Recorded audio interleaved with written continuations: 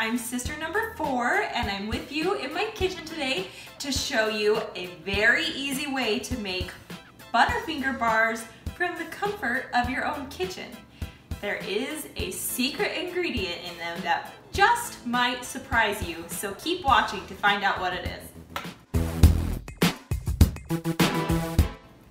So there are only three ingredients to make these super simple Butterfinger bars at home. But the first is the one that might really surprise you. Candy corn. The main ingredient in these is candy corn, which sounds gross.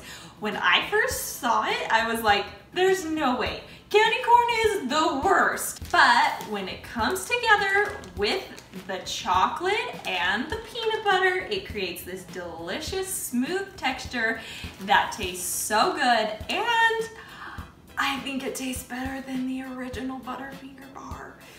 But if you wanna see how to make these, stick around and don't forget to hit subscribe below.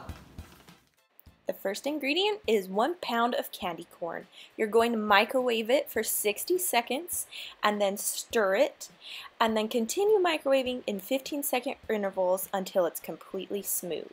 To that, you're going to add 16 ounces of creamy peanut butter and then mix, mix, mix, mix, mix, mix, mix until it's all combined and ready to go.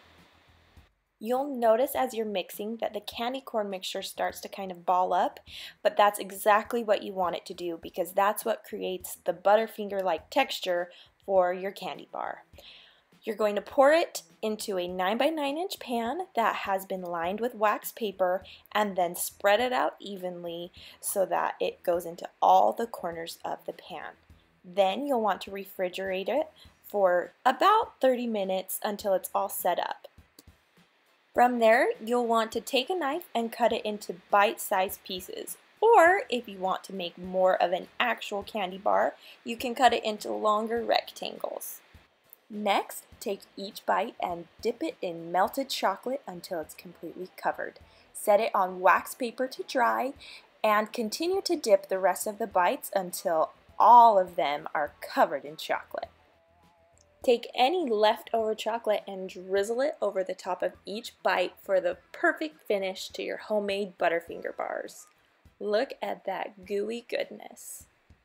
Don't forget to hit that subscribe button if you want to see more Six Sisters Stuff recipes. And if you want to see what one candy corn hater thought of this recipe, keep watching. Tell me why you didn't want to eat one of these.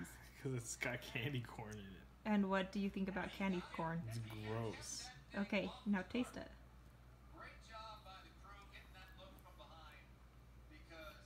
What does it, really it taste does like? taste like a Butterfinger. Yes! what?